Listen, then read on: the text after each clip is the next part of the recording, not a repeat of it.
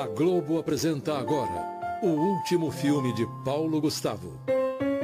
Minha Mãe é uma peça 3. É uma homenagem ao inesquecível Paulo Gustavo.